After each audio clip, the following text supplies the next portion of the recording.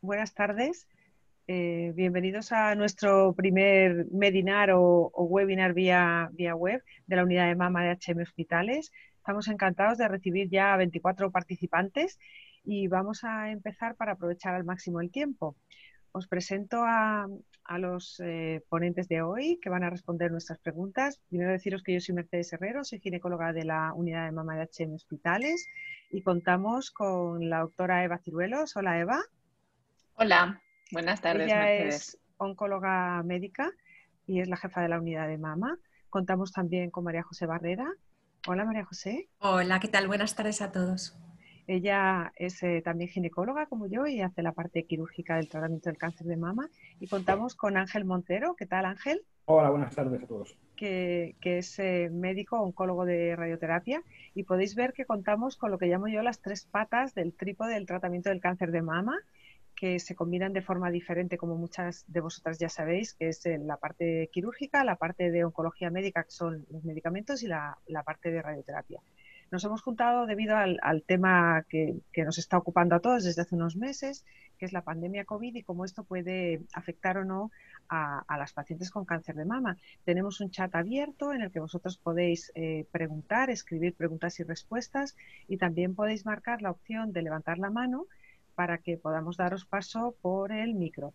Así que bienvenidos a todos y vamos a pasar a que nuestros ponentes nos den una pequeña, una pequeña saludo y una pequeña intro. Adelante, Eva. Buenas tardes. Bueno, pues hola otra vez. ¿Cómo ves este em, cambio? Mira, Mercedes, esto ha sido una cosa que nadie se había imaginado, ¿no? Que íbamos a vivir. La verdad es que eh, esperemos que no nos toque otra de estas, porque antes sufríamos guerras y esto ha sido una guerra al final mm. contra un enemigo muy poderoso, ¿no? Mucho más de lo que imaginábamos como es un, bichito tan pequeño, ¿no? Como dicen mis hijas, mamá, como una cosa tan pequeña ha conseguido organizar esto que, que, se, ha, que, se, ha, que se ha desencadenado a todos los niveles, social y sanitario. Eh, la verdad es que ahí nos hemos colocado los médicos muy especializados en el tratamiento del cáncer y del cáncer de mama en nuestro caso, en una medicina un poco más general, ¿no? A nivel profesional hemos tenido pues que cambiar nuestra zona de confort, de ver pacientes de cáncer de mama en cerca del 100% de las ocasiones, a ver otro tipo de pacientes que, lo necesitaban, ¿no? Porque esto ha sido, pues como digo, una medicina de, de batalla.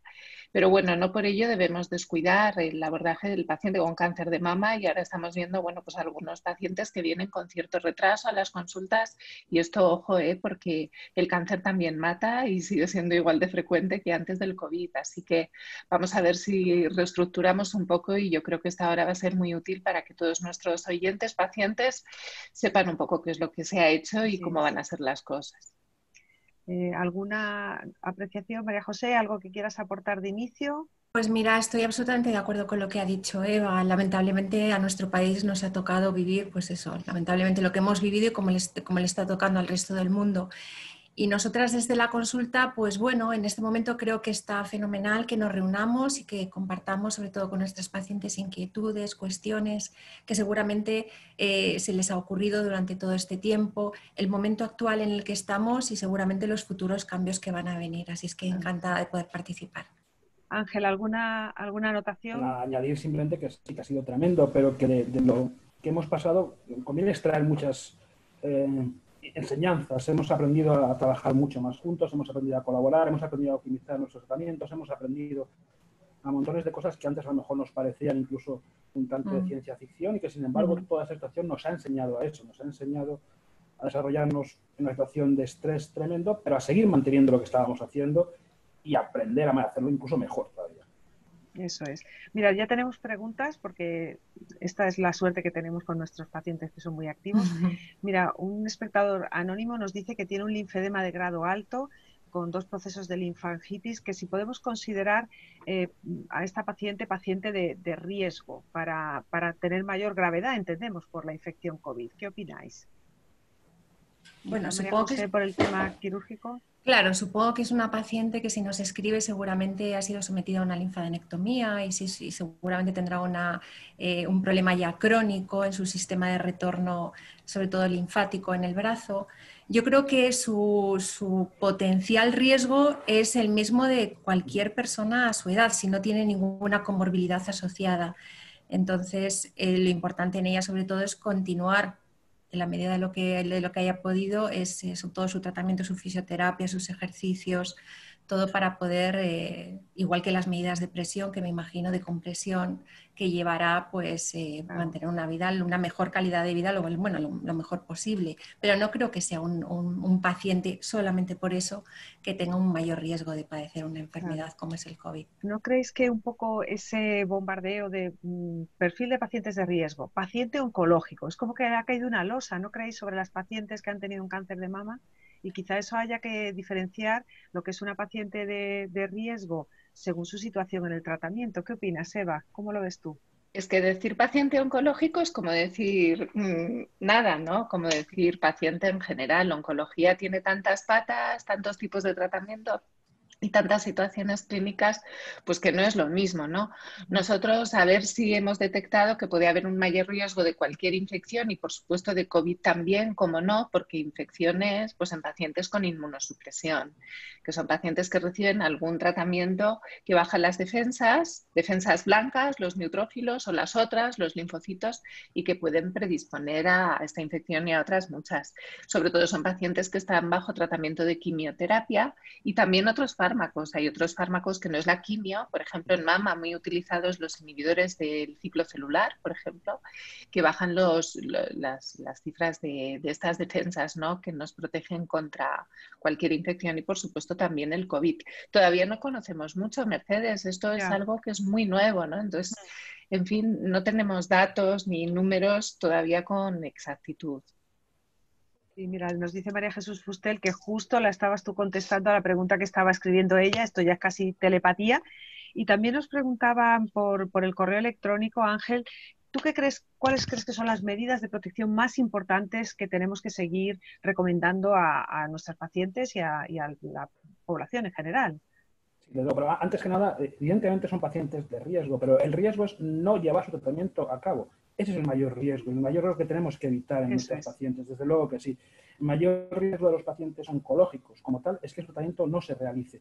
Y eso es algo contra lo que tenemos que luchar y tenemos que, transmitir eh, la idea y la certeza de que realmente los tratamientos oncológicos son seguros a día de hoy, se deben seguir haciendo, porque son la garantía de aumentar las tasas de curación y que el escudarse en una pandemia tan terrible como esta para, dejar de hacer tratamientos oncológicos o cualquier otro tipo de tratamientos nunca debe ser una excusa. Por supuesto, ¿qué debemos hacer? Pues mantener las medidas de seguridad que, mantenemos en toda distancia social, el uso de mascarillas, el lavado frecuente de manos, el evitar aglomeraciones, el evitar esos follones que ya se están montando desgraciadamente, bueno, pues con todas las medidas que, son de sentido común y que caen por su propio peso, evidentemente el riesgo va a ser igual para cualquier persona, mm. tenga o no un tratamiento ahora mismo activo.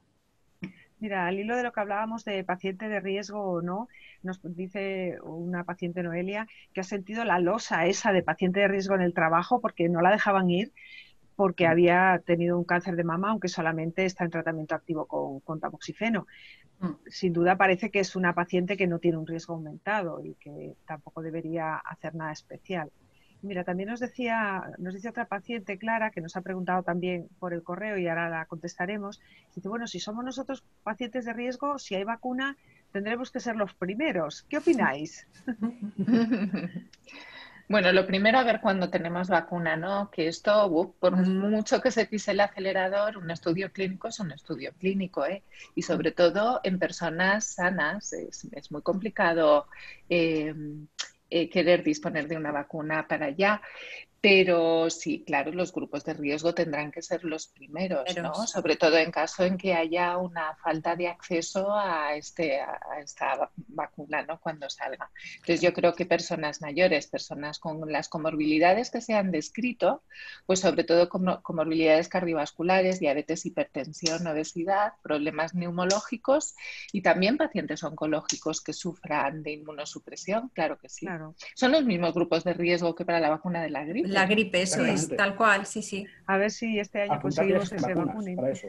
vacunas para personas de riesgo. Tenemos la gripe, el neumococo, que todos nuestros pacientes debieran vacunarse y ya existen, ya están disponibles. Y eso sí que es un riesgo. Evidentemente, nos preocupamos de la vacunadora, que hay que preocuparse, pero no olvidemos que ya existen algunas vacunas que pueden ahorrar también muchas complicaciones. y además aquí es importante, Mercedes, por lo que dice Ángel, eh, a mí me preguntan muchas pacientes en otoño por la vacuna de la gripe estacional, doctora, ¿y me tengo que vacunar? Por supuesto que sí. es que con mucho más motivo, aunque estén con quimio, hay que vacunarse. Eso es. Mira, también nos pregunta María Luisa sobre el posible retraso que están sufriendo algunos pacientes en sus revisiones y pruebas. ¿Qué, mm. mensaje creéis que deberíamos de dar en este caso? Bueno, con el tema de las revisiones, fundamentalmente, eh, a ver, nosotros estamos ya más o menos casi al 80-90% de nuestra actividad. Es cierto que vamos a tener que cambiar de alguna manera nuestra forma de atender a los pacientes. La telemedicina ha llegado y ha llegado para quedarse. Entonces, algunas pruebas evidentemente es necesario que sean de forma presencial, pero a lo largo de este tiempo también hemos aprendido a conectarnos con nuestros pacientes por otros métodos, por ejemplo, a través de videollamadas, a través de, eh, de teléfono. Entonces, retraso afortunadamente nosotros creo que en nuestro medio tenemos muy poco retraso, muy poco. Creo que eso es un mensaje de tranquilidad. Nosotros seguimos haciendo nuestro screening, como las mamografías anuales. Nos ha costado un poquito llegar porque nos hemos tenido que, que, adecuar todos, no hemos podido abrir todas las consultas de golpe, lo hemos hecho poco a poco, aumentando los turnos de consulta, evitando que nuestros pacientes no se aglomeren en las salas de espera, pero yo creo que ya lo estamos consiguiendo. Entonces, sobre todo tranquilidad. Podemos, podemos hacerlo. Nos pregunta también Fernando si cree, Fernanda, eh, la saludamos desde aquí, que es muy querida por todos, que si creemos que este pequeño retraso que ha podido sufrir algún tratamiento eh, supondrá un peor pronóstico. ¿Qué opináis? Mira, Fernanda, me pido contestarte y luego que sigan mis compañeros. Yo creo que lo que más peligro podría haber tenido es el retraso en el primer diagnóstico, porque es verdad que algunas pacientes que yo estoy viendo ahora en primeras consultas, no sé, Mercedes y Majo, ahora nos comentáis, ah, pues es verdad que, han, eh, han, evitado la consulta durante dos o tres meses a pesar de que notaban algo en el pecho, ¿no? Eso sí, eso yo creo que en ningún caso está justificado porque la medicina sigue aquí, incluso en caso de segundos brotes, etcétera, esto no se puede quedar en casa. Esto es un motivo de consulta médica tan importante o más como cualquier síntoma de COVID. Entonces, no podemos permitir que un, un, paciente nuevo llegue con retraso a la consulta. Una vez que el paciente está en nuestras manos, y esto además lanzo aquí una lanza a favor de cómo ha trabajado el equipo, todo está resuelto. Nos hemos apañado, ¿eh? Nos hemos apañado, como es verdad. Pues los quirófanos a lo mejor no se han podido hacer en marzo, pero a cambio la mayoría de nuestros pacientes han iniciado un tratamiento hormonal. Eh, cuando había que iniciar un tratamiento de quimio, ya nos hemos ocupado de poner, por ejemplo, medicinas para que las defensas no bajen o esquemas que no sean semanales para que no haya que venir muchos días al hospital. Entonces, lo importante es ponerse en nuestras manos, que de verdad que el grupo de profesionales eh, ha trabajado para proteger la salud. Lo que no podemos hacer es tener un síntoma y quedarnos en casa. ¿eh? Eso es. Correcto.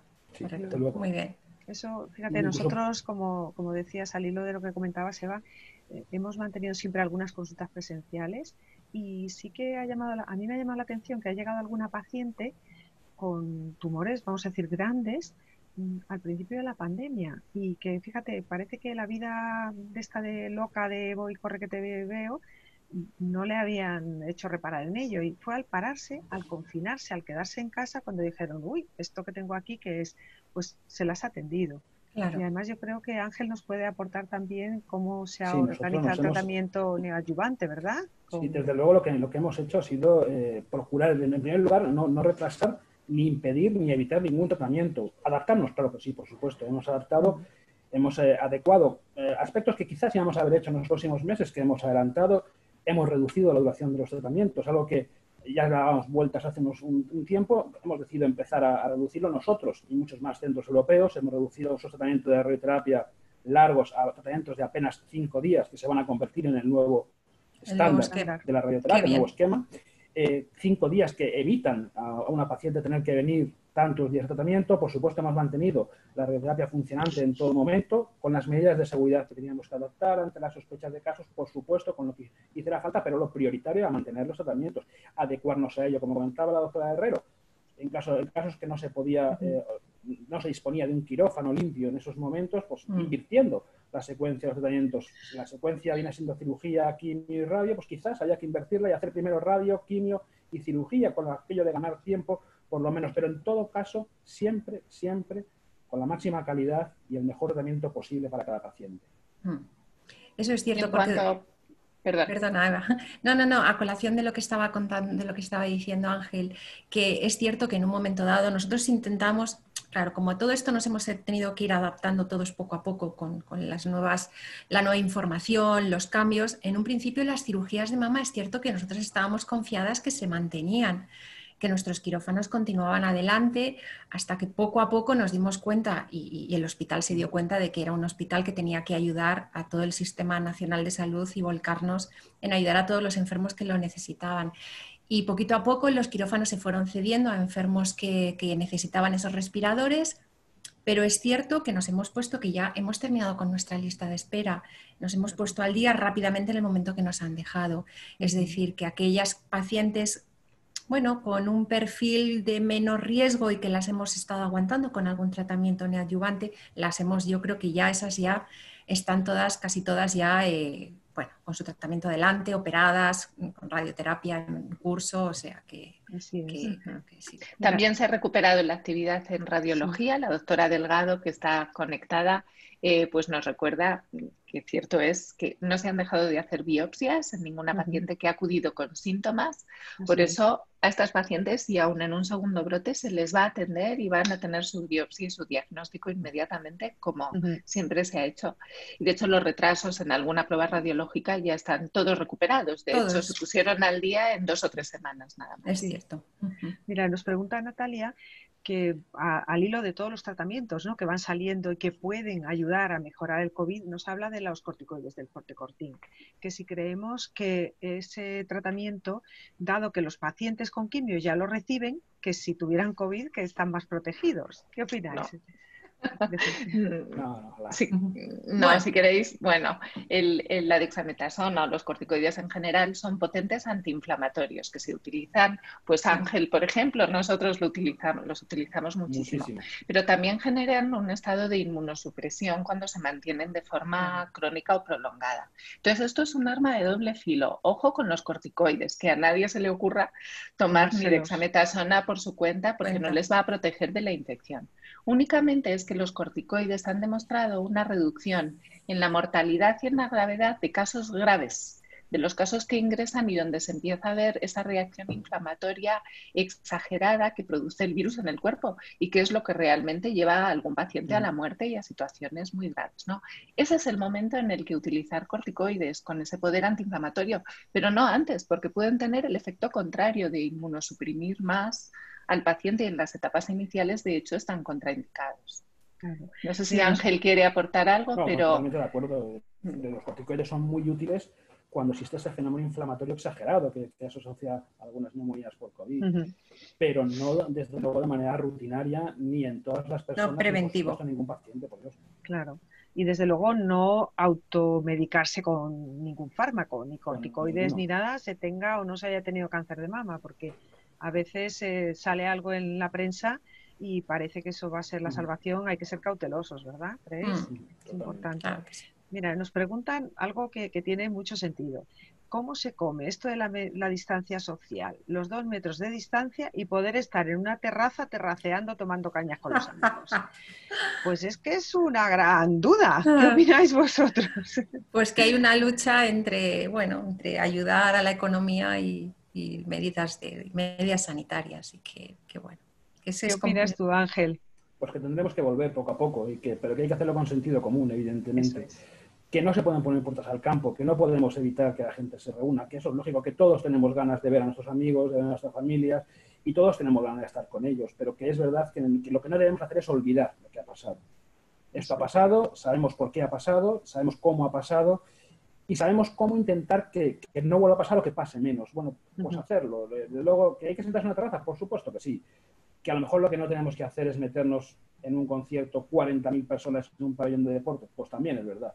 Que ya llegará ese día, bueno, bien, porque manteniendo un poquito de sentido común probablemente no te vayas a tener ningún, ningún riesgo, o no más que el mero hecho de vivir.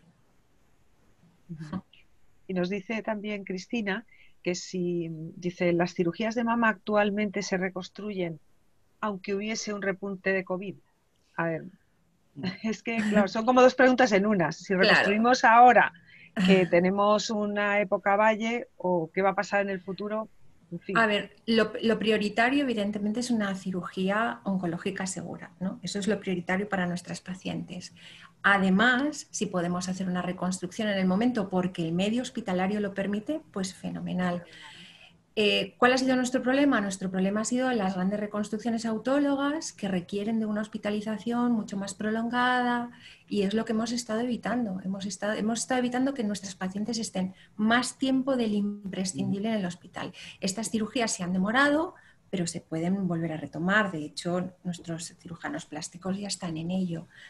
Es, es, es, es cautela, sobre todo. Respecto al quirófano, os pregunto yo, Mercedes y María José, eh, ¿cuál es el protocolo que ahora está vigente para una paciente que se opera? ¿Hay que hacerle el test del virus eh, unos días antes? 48 horas antes se lo hacemos, hacemos una PCR y esperamos el resultado y sí, la verdad es que hemos tenido muy, muy, muy, poquitos positivos, ¿eh? pero, pero mínimos. No sé si algún paciente se ha tenido que suspender la cirugía. Hablo en general, ¿eh? no solamente de la nuestra, de mama. Y a todas les hacemos una PCR 48 horas antes. Así es. Y respecto a la reconstrucción, ahora sí que las estamos haciendo. Mira, esta mañana hemos hecho dos en dos quirófanos simultáneos. Ahora, mm, ¿qué va a pasar si hay un nuevo repunte? Pues yo creo que tenemos que adaptarnos a la situación y no sé, como ser muy flexibles. ¿No creéis que esto nos ha enseñado que lo del protocolo muy bien, pero como dice Ángel, la prudencia y el... Es lo más importante. Exactamente.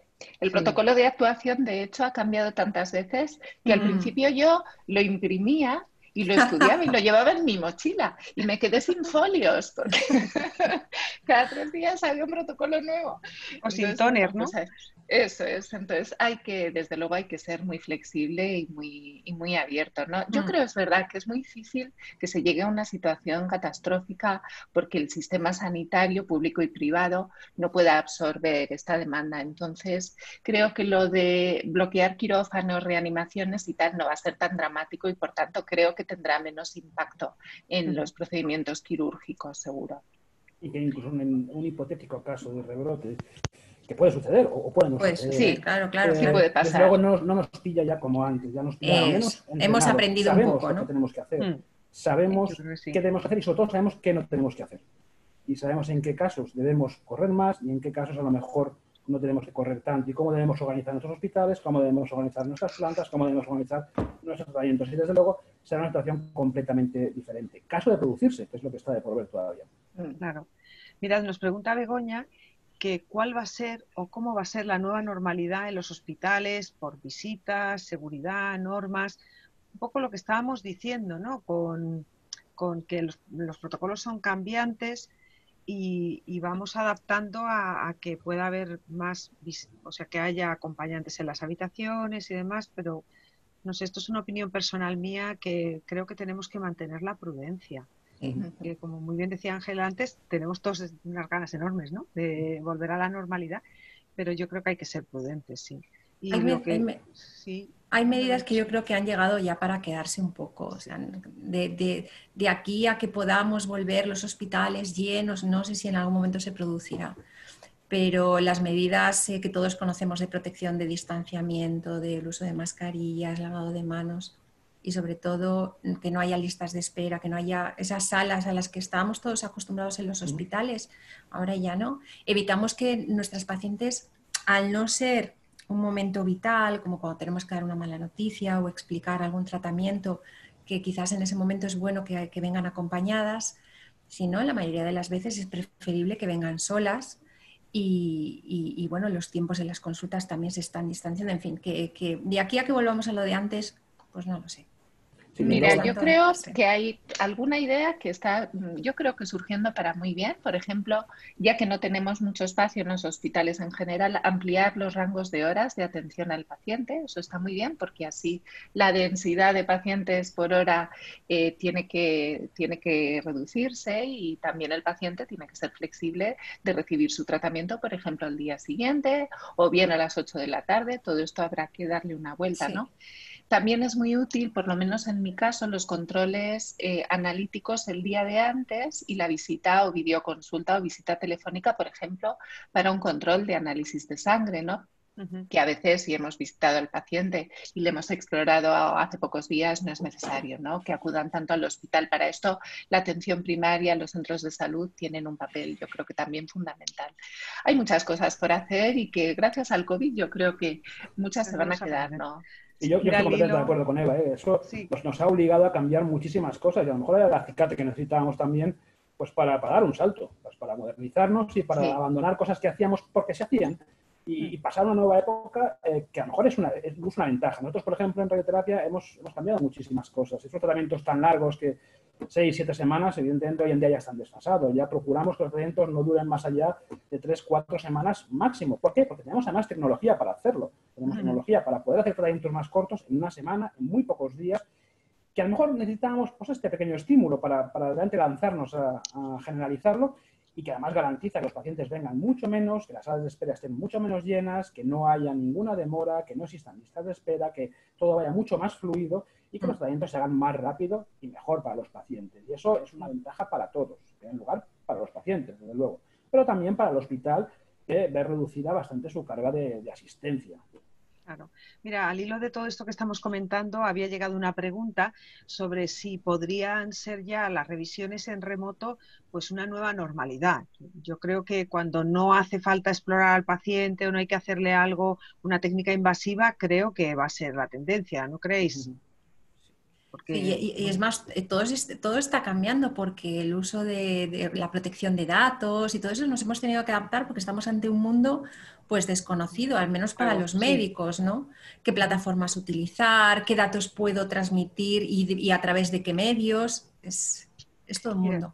Nos preguntan también, esto a mí me interesa mucho porque a veces mm, abre puertas a mundos oscuros. El tema de cómo mejorar nuestro sistema inmune y para enfrentarnos mejor al COVID cuando se han terminado los tratamientos del cáncer. En este caso nos preguntan cuando han terminado el letrozol. ¿Qué me decís de lo de mejorar el sistema inmune? Pues sentido común. Las cosas raras normalmente no funcionan en la vida en general y en medicina tampoco. Dieta sana, equilibrada, mediterránea, que para eso vivimos aquí. Eh, y ejercicio físico ¿eh? y una buena calidad del sueño, bueno, pero sobre todo estas dos, ¿no? Ejercicio físico diario, lo de los 150 minutos a la semana como mínimo y dieta equilibrada, nada más. Bueno, hay quien opina que esto de las revisiones en remoto bien, pero que la química y la cercanía hace falta. Ah. Desde luego que, no, no nos hemos hecho ninguno sanitario para, ver a los pacientes en una pantalla, pero yo creo que sí que lo tenemos que entender como una estrategia de ayuda y de complemento cuando queda algún resultado pendiente, ¿no? Claro. En ese entorno.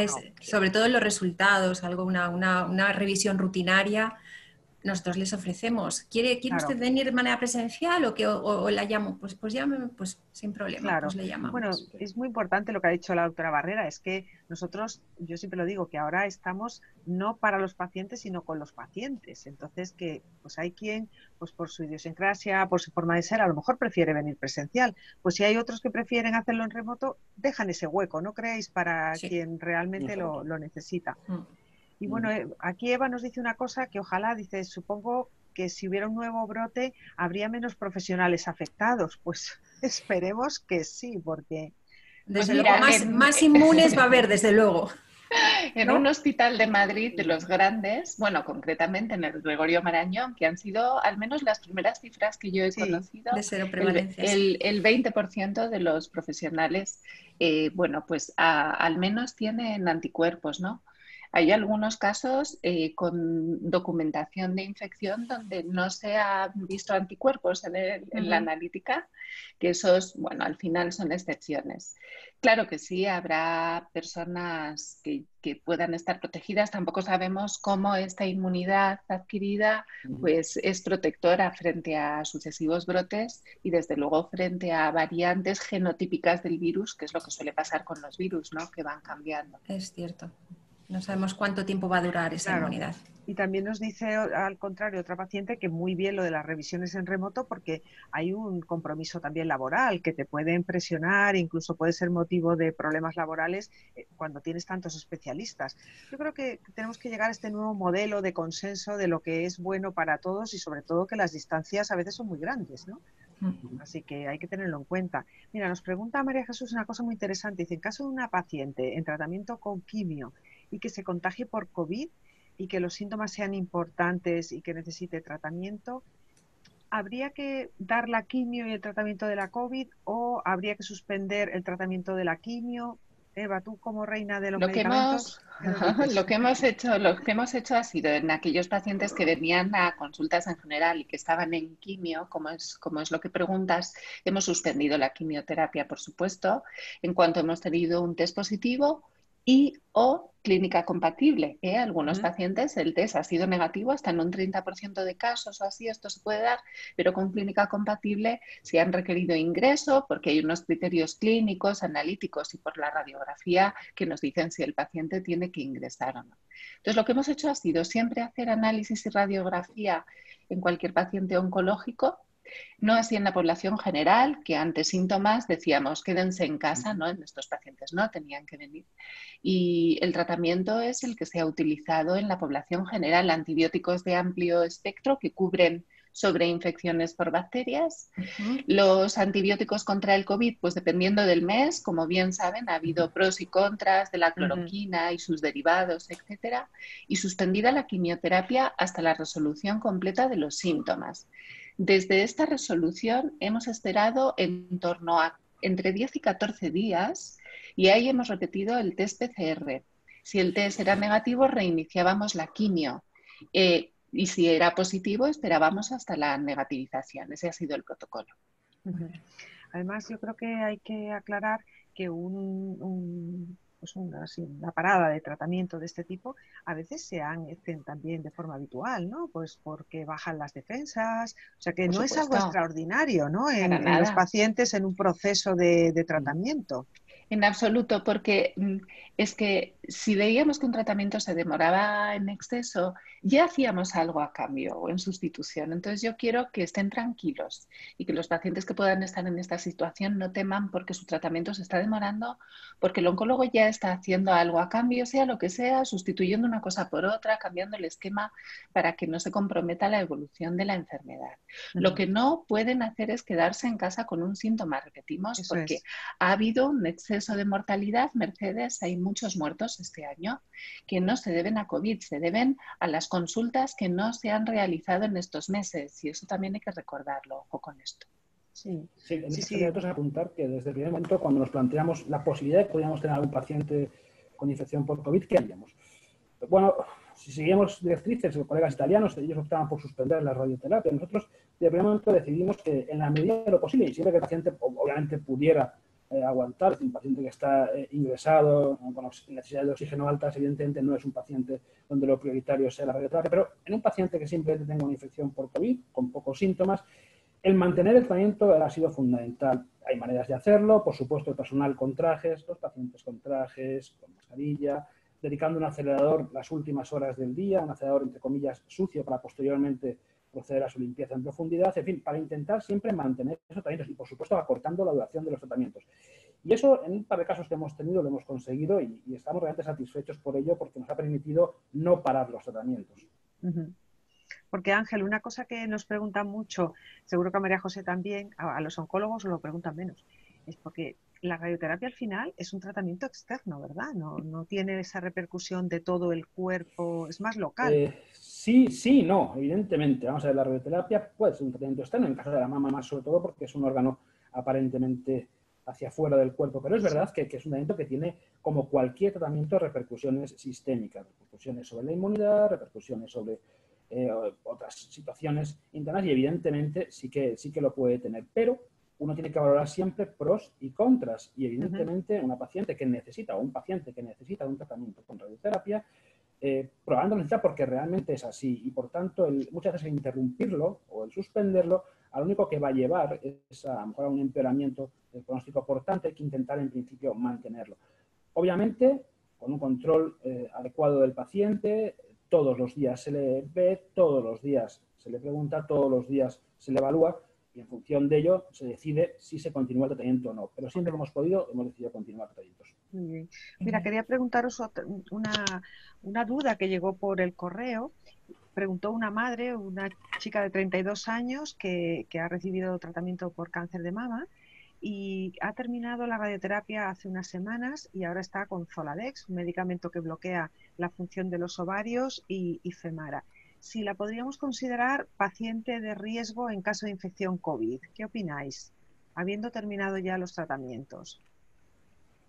Yo creo que no, que en absoluto. Depende, hay algunos pacientes que después de la quimioterapia presentan como una displasia de la médula, una hipofunción de la médula ósea, donde quizá tengan un cierto grado de depresión de la inmunidad.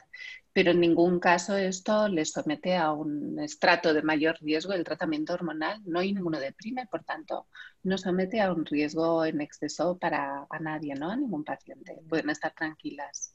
Es que yo creo que probablemente es lo que más nos han preguntado, ¿verdad? En estas semanas. Es decir, yo soy paciente de más riesgo, es que ha generado una losa añadida, ¿eh? ¿verdad, María José? Mm, sí, sí, sí, sí, mucho miedo, mucho miedo.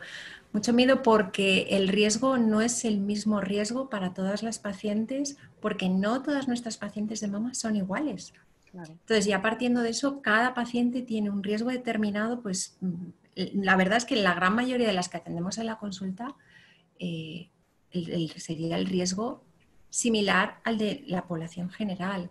Otra cosa es cuando estén con algunos tratamientos más activos, eso seguramente Eva lo explica mucho mejor que yo. Mm. Pero las pacientes, la gran mayoría que tenemos con tamoxifeno, con letrozol, que estén tranquilas, sobre todo, sí. Hay una, hay una curiosidad que nos preguntan, y claro, es que es lo que pasa con nuestra profesión. Una paciente que le van a hacer tratamiento de suelo pélvico, estoy un poco así a ver esto que va a ser, ¿no? Masajes o qué, dice, la distancia social no es posible, obviamente. Pero hay que distinguir lo que es la distancia en una exploración clínica, ¿no? ¿No creéis? De, lo que es un tratamiento. Claro, y llevamos todos mascarilla también. claro. Todos, el lavado de manos. Eso, Exacto. Sí. Es decir, que yo creo que en el, cuando, bueno, yo creo que todos hemos salido a comprar, ¿no, Eva? ¿Tú, crees que casi se corre más riesgo en el supermercado o en Seguro, el hospital? Sin ninguna duda. Seguro. En el, hospital eh, se toman tantas medidas ¿no? de seguridad que ahora mismo ya no hay ninguna justificación para que un paciente o no, ve, o no venga o no sea explorado cuando, cuando la consulta tiene, tiene su componente físico y de exploración física necesario, ¿no? Mm. Por supuesto. Eso sí.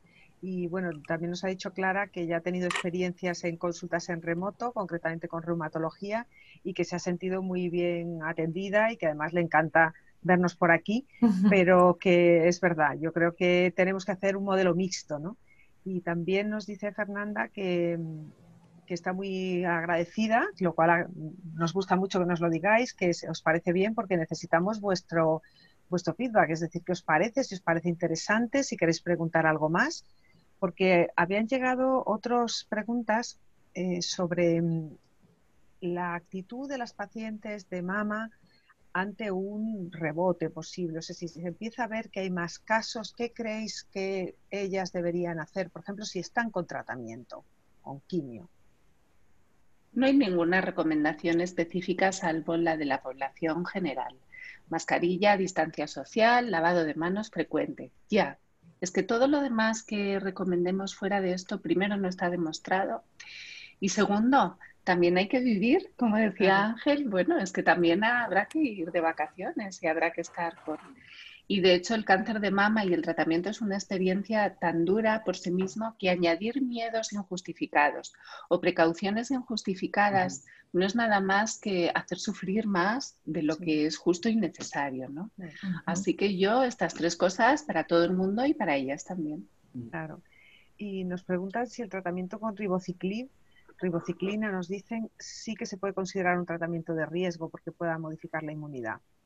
Sí, estos tratamientos que son orales, no son quimio, pero inhiben el ciclo celular, tienen un efecto secundario fundamental que es la neutropenia, la bajada de las defensas de los neutrófilos, incluso con más frecuencia de lo que hace la quimioterapia en sí misma. Entonces nosotros lo que hicimos al principio de la pandemia fue revisar todos nuestros pacientes que estaban en este tratamiento, identificar aquellos que habían tenido ya previamente a la pandemia estas reducciones de estas neutropenias para, bueno, vigilarlos un poquito más o bajarles un poquito la dosis, cuidarlos, ¿no? Mm. Las personas más mayores, porque sí, sí, es un tratamiento que puede aumentar el riesgo de cualquier tipo de infecciones. Pero sobre todo si tienen unos buenos niveles de leucocitos, a lo mejor no tanto, ¿no? Será para los pacientes que tienen leucopenia, ¿no? Exactamente. Muy bien. Bueno, y ya ha llegado la pregunta. ¿Qué pasa con los test? ¿Son fiables? ¿No son fiables? Alguien tuvo neumonía, le dio el test negativo, hemos abierto el melón. ¿Qué opináis? Primero, ¿creéis que se debe hacer test todo el mundo? ¿Qué opináis de eso? ¿A qué se refiere con test? Pues claro, es que ponen test, que alguien debe ser eh, IgG que no ha hecho anticuerpos positivos a pesar de haber tenido neumonía por, supuesta COVID, ¿no? Yo, desconocemos cómo funciona esto. Cómo funciona la inmunidad. Desconocemos cómo funciona la inmunidad. Claro. Como pasa en tantas otras infecciones. Y, nos estamos dando cuenta de que eh, lo que teníamos aprendido muchas veces de que una infección genera primero unos anticuerpos IgM, después unos IgG, y eso se va a mantener de por vida, es algo que eh, con esta infección hasta cierto punto es discutible. Eh, no sabemos si toda esa inmensa masa de población que aparentemente no ha desarrollado anticuerpos es porque no ha estado expuesto o porque ha desarrollado otra vía de inmunidad, que también puede ser, como ha pasado en otras infecciones. Y eso a lo mejor es algo, a lo mejor hemos estado mucho más expuestos de lo que creemos, aunque no lo sepamos realmente cuantificar. Eh, hacer test, evidentemente, yo creo que a todo aquel que presente síntomas hay que hacer test, eso sin ninguna duda, cosa que quizás a lo mejor no se hizo al principio, pero que evidentemente hay que hacer a toda aquella persona que tenga eh, sospecha de fiebre, tenga tos, tenga un cuadro eh, pseudo catarral agudo, evidentemente que hay que hacer un test, lógicamente. Ahora bien, hacer test masivos a toda la población, pues es algo discutible. es que no serviría de nada, claro, claro. Sí, así es. Mira, nos pregunta María Jesús, que tiene una hija que vive en Suecia, dice allí nadie lleva mascarilla, ni siquiera en los hospitales. ¿Qué hacer, no? Pues yo la verdad no conozco cuál es la tasa de infección en Suecia, pero ah, me imagino que es que no hará falta, ¿no? Los países nórdicos han tenido unas conductas bastante diferentes a nosotros. A algunos les ha ido bastante bien, o al menos no tan mal como a nosotros, y otros han tenido que, dar marcha atrás e imponer ciertas, ciertas medidas. En Suecia, de hecho, creo que hay cierta marcha atrás ahora, porque, porque yo creo que sobre todo uno tiene que tener en cuenta hasta dónde da de sí su sistema sanitario. ¿eh? Probablemente donde más prevención están haciendo de muchos países es en América Latina. Por ejemplo, en Argentina se confinaron rápidamente porque saben que en cuanto haya un brote, eh, esto no va a ser asumible sanitariamente, ¿no? Eh, y, y, eso que el sistema sanitario español aquí ha abierto una caja de Pandora, creíamos que era probablemente mejor de lo que. Pero mm. en estos países donde la sanidad da para lo que da, desde luego la prevención es, eh, tiene que estar al 100%. En países nórdicos donde hay camas de UCI suficientes y por tres o por cuatro, como ocurre en Alemania respecto a España, pues a lo mejor no hay tanto miedo ante un posible brote, ¿no? Depende mucho, hay muchos factores. El estilo de vida, los países nórdicos, pues eh, la gente no sale, no bebe cervezas de vez en cuando y si lo hacen, lo hacen en casa. Entonces, claro, comparar ese estilo de vida con, Italia y España, pues no, no se puede, no sé, son demasiados componentes, yo creo. Y luego el conocimiento que tenemos, por supuesto. ¿Por qué países como China han tenido esa brutal afectación y países que están con frontera con China, el sudeste asiático, aparentemente no. y donde el hacinamiento también es algo habitual y donde precisamente recursos sanitarios a lo mejor no son lo mismo. Sin embargo, hasta donde nos hemos enterado, en el norte de África, no ha habido esta explosión que ha habido en algunos países de Europa. Cuando desconocemos tantísimas cosas que es muy difícil saber si, si realmente alguien va a dar con la tecla mágica. ¿Que sabemos ahora mismo que ponerte una mascarilla puede reducir el riesgo? Por supuesto que sí. Bueno, pues yo creo que no cuesta nada. De momento, eh, mantener esas ciertas medidas hasta que realmente estemos seguros de que, de que no hay riesgo en no llevarlo. Mira, nos preguntan si el tratamiento de quimio puede influir en un hueso que está soldándose en un paciente con osteopenia. Entiendo que ha debido haber una fractura o algo así, ¿no? En un hueso que es un poco frágil, si la quimio puede empeorar la capacidad de, fijar ese hueso.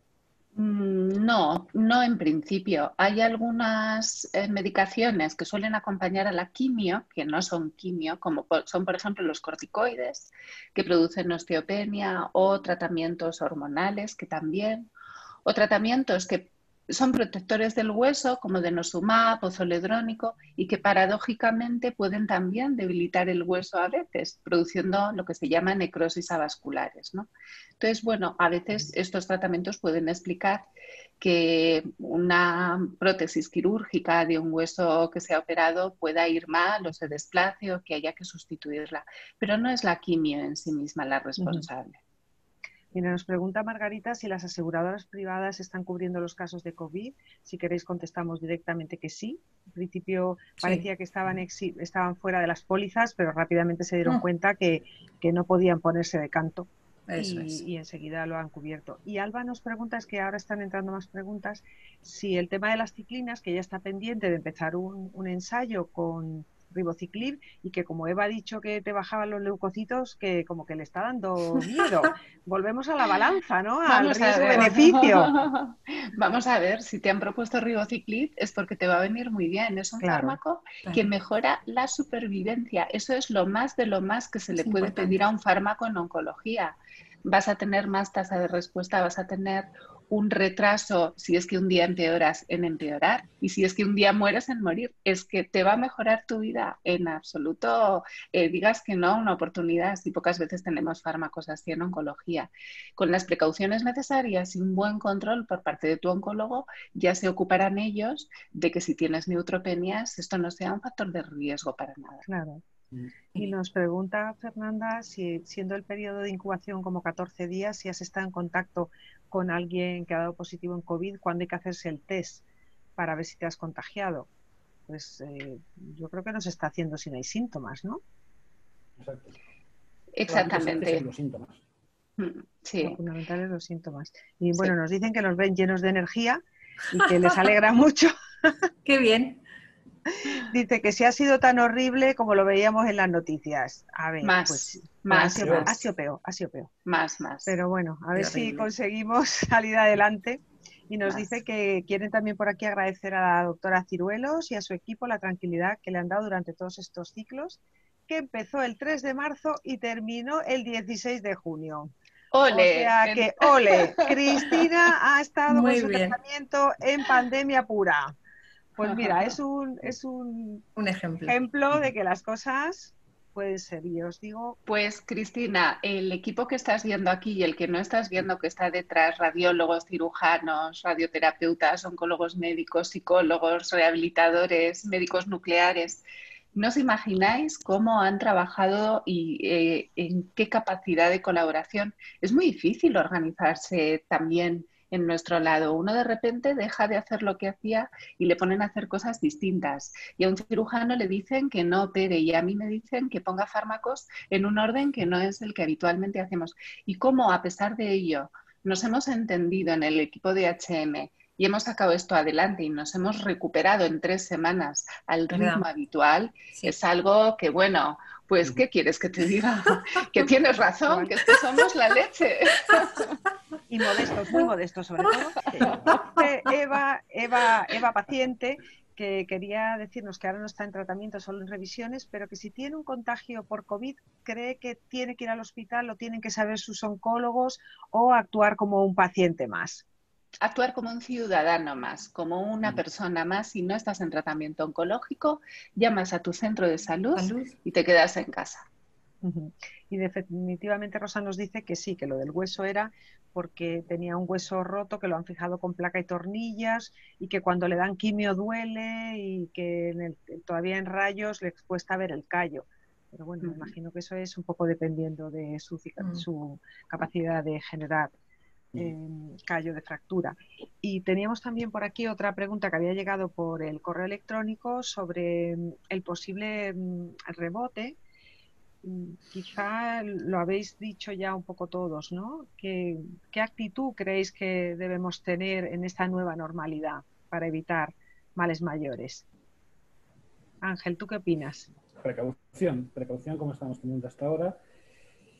Y saber lo que ha pasado, desde luego, no olvidar. No olvidar, saber lo que ha pasado, saber por lo que hemos pasado todos, lo que ha sucedido, lo que ha llevado esto, y no olvidarnos y hacer las cosas con sentido común. Y sabemos que de momento tenemos que evitar esas aglomeraciones, tenemos que mantener esa distancia, tenemos que lavarnos las manos, tenemos que llevar mascarilla cuando estemos en espacios públicos. Simplemente eso, eso y procurar no atraer nuevos brotes, es decir, evitar pues el, comportarnos de manera alocada, el eh, volver otra vez a, esas aglomeraciones, a esas, eh, yo que sé, a juntarnos cientos de personas, a no tener esos cuidados. Un poco más que eso, porque además tampoco hay mucho más, tampoco podemos vivir obsesionados con ello. Es decir, esto es una situación que ha estado, que ha pasado, que seguimos en ella todavía, pero que tenemos que salir. Ni va a ser la primera, ni va a ser la última. En la historia de la humanidad, por supuesto. Nosotros sí que la única que nos va a pillar, esperemos. Y que con estas, con estas precauciones, Mercedes, que no dejemos de consultar con nuestros médicos cualquier síntoma, cualquier dato de alarma, seamos pacientes o un ciudadano que se ha notado un ganglio en el cuello, porque es que es peligroso, es que hay otras muchas enfermedades que también están al lado y que son igual de malas, no, mucho peores que el COVID. ¿eh? Sí. Eso, y, y también recordar que tenemos nosotros por lo menos una forma de actuar rápida, rápida, que es a través del teléfono rosa que todas las pacientes que se noten cualquier bulto en la mama, que tengan sospechas de que algo les está pasando, tenemos un teléfono y aparte les atendemos rapidísimo las unidades especializadas en patología mamaria y, que funciona y que en, 48, 72 horas rápido las vamos a ver. Claro. no olvidemos que eso seguimos igual. ¿eh? Exacto. Y como muy bien ha dicho Eva, yo creo que es muy importante el, no quedarse en casa si uno tiene síntomas relacionados, por ejemplo, ahora con la mama, pero también con otra patología. Es decir, esa gente que empieza a tener problemas de jaquecas muy fuertes, de dolores precordiales y que por miedo se ha quedado en casa y, como decía Eva, ha podido generar una mortalidad coincidiendo con el COVID, pero por mm. otras patologías, ¿no? Entonces os voy a dar la, palabra para que en un minutito cada uno, un minutito y medio, cerréis esta jornada que, bueno, pues yo creo que hemos estado todos muy a gusto, se ha pasado ya prácticamente volando. Y si queréis empezamos por Ángel. ¿Qué, ¿Qué, mensaje te gustaría dar? Como ya nos han preguntado de cómo lo hemos vivido, hemos dicho que muy mal, pero ¿tú qué, qué sacas de positivo de la vivencia de la pandemia? Pues, pues muchas cosas, Mercedes, muchísimo. O sea, yo creo que ha sido terrible, pero que hemos sacado muchas cosas. Y, sobre todo, ¿qué hemos sacado lo primero? Pues eh, el comprobar cómo, cómo podemos eh, trabajar juntos todos a una y cómo vemos, si ya lo sabíamos lo que era una unidad de mama, si ya lo conocíamos de haber trabajado muchos años, pero saber incluso que en situaciones de, estrés o situaciones de máxima tensión hemos sido capaces de salir adelante, hemos sido capaces de implementar nuevos tratamientos. En nuestra, por nuestra parte hemos sido capaces de avanzar y dar un salto, por ejemplo, en el tema de la radioterapia, pues un salto cualitativo de 10, 15 años eh, nosotros. Es decir, que, era algo que, muchas veces íbamos poquito a poco y que, sin embargo, ya estamos en ello. Hemos visto que podemos eh, cambiar las cosas, hemos visto que, existen muchas maneras de hacer las cosas que antes pensábamos que no se podían hacer. Hemos visto que se puede eh, trabajar de otras maneras y, sobre todo, hemos aprendido que trabajando todos juntos es como mejor salimos adelante en el COVID, en el cáncer y en cualquier otra cosa. ¿eh? Bueno, antes de darle la palabra a María José, vamos a contestar las dos últimas preguntas muy rápido, que dice que si hay suficientes eh, experiencia en COVID en pacientes con tratamiento hormonal o estudios sobre ese tema, yo creo que no ha dado tiempo, ¿no, Eva? Poco publicado, claro, no ha dado mucho tiempo, ¿eh? Mm, eh, como he dicho, tenéis que estar tranquilas, todas las que estáis escuchando, que estáis en tratamiento hormonal, tranquilas, comportaos como un ciudadano más, como cualquier familiar vuestro que esté en casa con vosotras, porque no sería lógico pensar que estéis expuestas a más riesgo, aunque es cierto que no tenemos todavía registros. Y Begoña nos dice cuánto se tarda el cuerpo en recuperar de la quimio y si se recupera la cardiotoxicidad, ya como última pregunta para responder, que no es fácil. De la quimioterapia depende de la toxicidad, Begoña, lo que tarda un poquito más suele ser la neuropatía, a veces que queda como hormigueos, etcétera, pueden ser entre seis y nueve meses, la alopecia, el pelo entre tres y seis meses y la cardiotoxicidad en un pequeño porcentaje no se recupera dependiendo del fármaco que lo produzca, aunque sí se puede controlar para que no haya consecuencias clínicas. la mayoría de los casos se recuperan en el primer año. Y eh, le doy la palabra a María José. ¿Qué, te llevas tú de bueno de la pandemia? Bueno, de bueno me llevo muchas de aprendizaje. Cosas, de aprendizaje y de cosas buenas. Primero, que he encontrado una nueva forma de trabajar cosa que no se te plantea muchas veces a lo largo de tu vida laboral, como ha sido estar siempre conectadas con mis compañeros. Yo no puedo agradecer más de verdad que estar, que tener un paciente enfrente y poder hablar con cualquiera de vosotros y que siempre estáis eh, ahí para, para, para resolver dudas, para ofrecerme soluciones. Creo que hemos trabajado, y es cierto, o sea, hemos trabajado muy bien porque yo creo que estamos muy bien conectados, que la telemedicina a mí me, al principio éramos todos, yo creo que un poquito reacios, pero que ahora todo el mundo que te da el visto bueno, protección de datos, sociedades, nosotros mismos, creo que debemos de explotarla.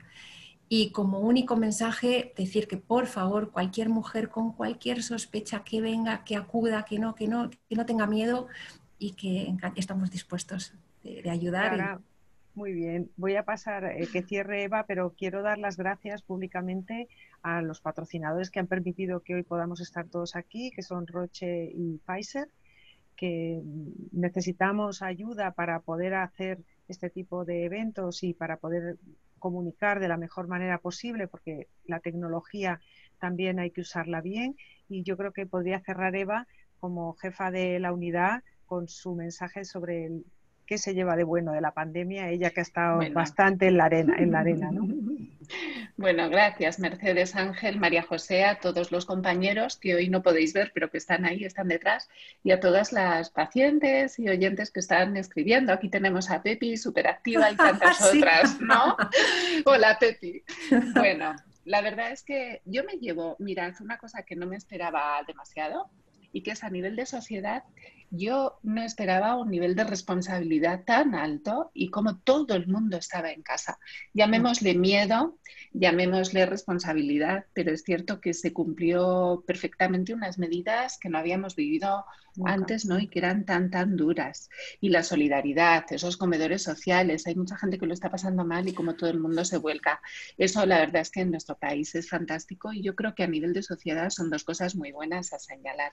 A nivel profesional, ya lo han dicho antes, ellos el aprendizaje de trabajar de otra manera, por supuesto, y el estar muy orgullosos de nuestra profesión, ¿eh? enfermeras, celadores, auxiliares y médicos, porque ahí hemos estado al pie del cañón, con miedo, con preocupaciones. Hay tanta gente que no se atrevían ni siquiera a volver a casa a dormir con sus hijos porque tenían miedo de llevarles cualquier bicho, ¿no? Mm. Así que, ¿qué más podemos decir que no se haya dicho ya tanto? Esperemos que lo de los aplausos a las 8 no se quede en eso y que de verdad haya un reconocimiento hacia la profesión sanitaria, que eso pasa por mm, otros órganos que no nos competen hoy. y por último, gracias a los pacientes, ¿eh? no solo por estar hoy, sino porque habéis sido muy comprensivos. Un paciente que se nota un bultito en la mama y que le dicen que no se puede operar, que tenga confianza, que tome esta pastillita a cambio, que espere un poquito. Claro, también hay que estar en casa con miedo, dando vueltas a esa situación y tener la confianza en los médicos que, han reorientado pues, esos protocolos de tratamiento que han tenido que cambiar de un día para otro. Así que gracias a, las pacientes también. Nos gustaría muchísimo que nos deis el feedback porque trabajamos por y para vosotras.